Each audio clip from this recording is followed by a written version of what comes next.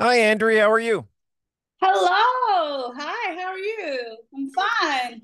Doing fantastic. Excited to talk to you and uh, want to get into the album and, of course, the Dio show and and get your opinion on a couple of things. But man, I'm always curious when uh, when when I come across a singer like yourself that has such an amazing voice. Thank you. I, even though I talk on the radio, I could never imagine singing. But I'm curious, did you discover it at a young age? Did someone tell you, like, hey, you could sing? When did you realize that you could sing? I think I haven't even realized it. My uncle told me I thought I was listening to the radio when I was like four years old singing. So Oh, it just happens, you know, when we are little, like the singers when we are like kids and we are singing, it just comes out naturally. Of course, I have evolved my talent through the years, you know, but you know how it is. So it was the Discovered at a young age. Yeah. the young the uncle said, "Hey, you you can actually do this."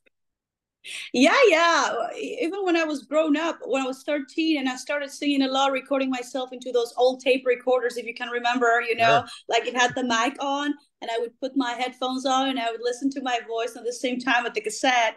And it was like, oh my God, I, I can do that. You know, I just uh, voice over the singer and I can do it sometimes better. And I was like, wow. And then I, I kept on pra- practicing and practicing. And then I got into where I am now. I love it. I love hearing that journey because I'm I'm a failed drummer. That's how I got into the radio side of things. But I'm always curious with singers because that's that takes a lot of gusto and courage to stand up there and belt it out, and especially like the way you do. So Yeah, thank you. I mean, it's a muscle, you know, it's like athletes with sports and stuff. It's something that needs to be trained when you realize that you have some type of talent, you know, like all the sports guy, they have a specific sure. body type and they do the uh, the sports that they're fit in. So it's the same with us, you know, it's a type of different sport. Totally. Well, I'm loving the debut album and Skies, which is out now, and kind of curious, how did you hook up with Jay Ruston for it? I mean, he's a legend in the in the business.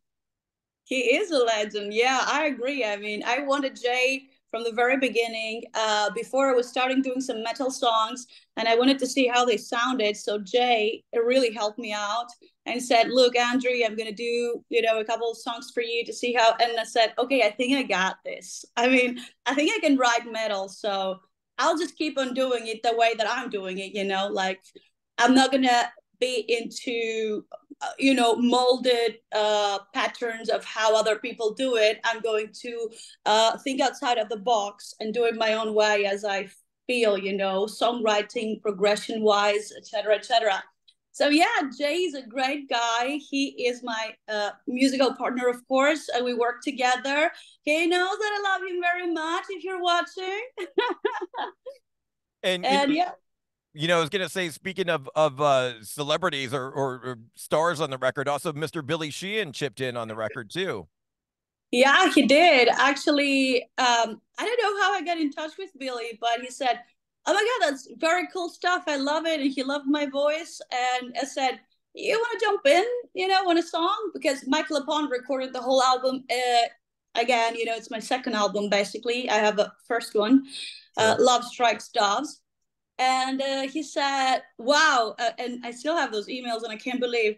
And the first impression when I got his uh, audio was like, oh my god this can be happening this is like out of this earth this is alien bass this is not real bass and i was like wow this guy played for me great you know I feel bad for your bass player that now has to learn those parts and, and try and emulate what Billy does. You don't have to emulate you just have to be yourself. Billy does what he does you know and i do what i do. Everybody does what they're good at. So i'm not going to force anyone to play like billy. I mean he's a god. He's the bass god.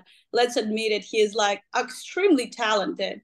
As i say out of this earth because i i listened to the isolated stems. Yeah. and he was sort of like wow, what is this? I was trying to really understand and dive deep into it was more of like uh robotic at the same time with feeling at the same time with with rhythm at the same time with groove at like i couldn't even describe it. So i say like okay the other bass players have to be really you know. Good but luck. but that's good luck guys And we should give a shout out to Billy because he's out there right now with Mr. Big on their final farewell tour.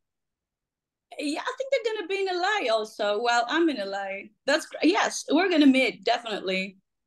Looking forward to that, and uh, you know, so many great songs on the album. The title track, "Good Trip to Hell," "Do or Do Not." Do you play any instruments on the on the album? Not on the album, but I'm a guitar player, and I wrote like uh, all of it note by note, basically. Oh, wow. So I'm, I'm actually a good guitar player. Why I don't play, people ask me. Yeah. I like having nails on. Lita Ford pulls it off somehow. Probably pulls. Yeah, I mean, I've had a crazy idea. Like I play a show and then I cut my nails and then I go backstage and then I play again guitar. That's too much of a mess, you know. But I, I just focus. I'm trying to focus on on my role, which is to be the performer singer, and then everything else. Well, you know, since I mentioned her, we should probably get into it. Uh, she's going to be there along with you, the Rock for Ronnie at Warner Center Park, Woodland Hills, California, on Sunday, May 19th. Quiet Riot, Lita Ford, Dio Disciples, whole bunch. You're going to be there as well, and all for free. And uh, of course, people can donate because it's for the Stand Up and Shout Cancer Fund. Yes, of course. It's all for a good cause. And most of the people that we are there, we have lost relatives. I've lost my grandma. One of the reasons that, that I'm trying to support as much as I can also is because she meant the world to me. And now she's gone. And there's no really pretty much a big explanation how this cancer gets into people, like, and the mutations and all that stuff. If you uh, consider that we have discovered DNA later on. it's not it's recently discovered the dna we didn't know that before. So uh, we're still evolving. And let's just hope that there is some type of cure.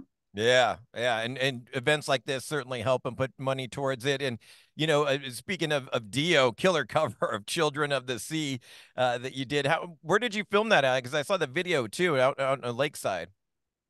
Yeah it's actually here in greece uh, at a at the sea basically. So just children of the sea. So I said, okay, I'm gonna go for a walk to, today. So why not filming the song at the same time? So I just called my videographer and say, hey, you want to do this? Said, yeah, I'm up for it. Okay, let's do it. And uh, yeah, but I always take seriously, you know, the words that I sing. Uh, I'm not gonna say unlike most singers because there are people that they really speak what they feel and they sing what they feel. But what I really think that people understand and get the feeling from me is that I really mean what I say on the mic, you know? You so it, com- comes directly from the heart, if I can be understood. yeah, no, I mean, you got to. I mean, that's where it all begins. I mean, the voice is one thing, but believability is another. You know, with the singer, you have to believe what they're saying, or else it's no, you, you could have the best voice in the world. It's not going to matter.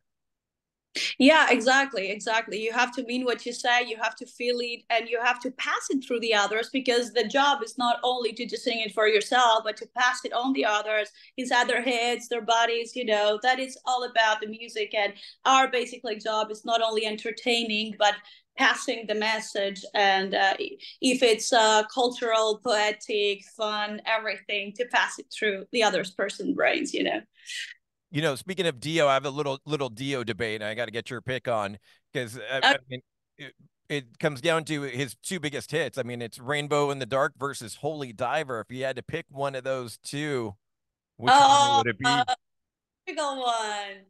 That's a difficult one. Okay, I have been playing Rainbow in the Dark uh, on my shows, on my tours with my band. So, oh. yeah, not Rainbow in the Dark, but I have I've played also Holy Diver a lot I don't know. Uh, I think that Rainbow in the Dark is more, more sentimental and it speaks more to my heart. Uh, based on the lyrics. Now the music is both great, you know. But I Rainbow in the Dark. Awesome, awesome, and looking forward to the show. How how long of a set are you going to get at the uh, Rock for Ronnie? Uh, how long? Uh, is that a surprise or what? no, I'm saying saying how long of a set do you get? How long are you going to get to play at the Rock for Ronnie? You're performing that day, right? Yeah, I know, but this is a surprise. Oh. this is supposed to be a surprise, like how many songs and what songs and ah. stuff. Yeah. I cannot say much, much. Okay. Okay.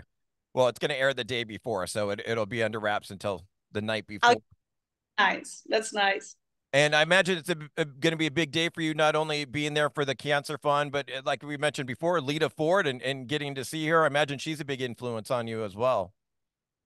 Yeah, I like I like her songs a lot. I met her at NAMM 2019. We were there, you know, with uh, each one of us with our companies and stuff, and she was nice. It was now we get to. I think we will get to know each other more, and that's great. I love that. I can't wait to meet the guys and have fun.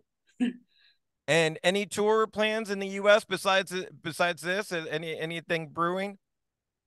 Oh, we have uh, things cooking. We have things on the table, but it's mostly for 2025. Not not this year, unfortunately, because all of that in the US takes time. You know it. sure, sure. Yeah, it takes a lot of time.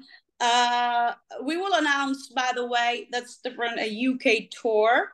Uh, since it's gonna air the day before, I can say that. Okay, we're gonna tour with Kings of Thrash, David Ellefson, Chris Poland, oh, uh, cool. in the over. So that's good news that we have that now.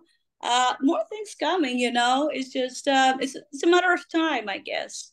Sure, sure, makes sense. But well, congratulations on the Kings of Thrash tour. That'll be excellent. And you know, keeping yeah. in the thrash world for a second, because we're an old school radio station. We do a feature called Mandatory Metallica, where every night at 10 o'clock we play a bunch of Metallica. So uh, you're going to be a part of that. And I'm curious, you're a Metallica fan then, right? I like Metallica. I can sing Metallica. well, I've been having this uh, this Metallica debate lately, uh, like we did with the songs, but this one's more of an album debate. It's Ride the Lightning, their second album, versus the third album, the next one, Master of Puppets. Uh, I would say I like Master of Puppets. Oh, I would say I like that. Sometimes I change the lyrics and I call it the Mistress. because female empowerment you know we're promoting that so and then sometimes i call it like uh uh come here mistress your life's in distress no no no no I'll your mistress you know and it's like i make it more like a bdsm song just for fun I love it. And, and, and, there's no question. I was going to ask you what song to play, but now I have to play Master Puppets now you have to play Master of Puppets. You have no choice. Okay. Beautiful. Well, thank you so much for the time then. I greatly appreciate it. Thank you too. Have a good one. Bye bye.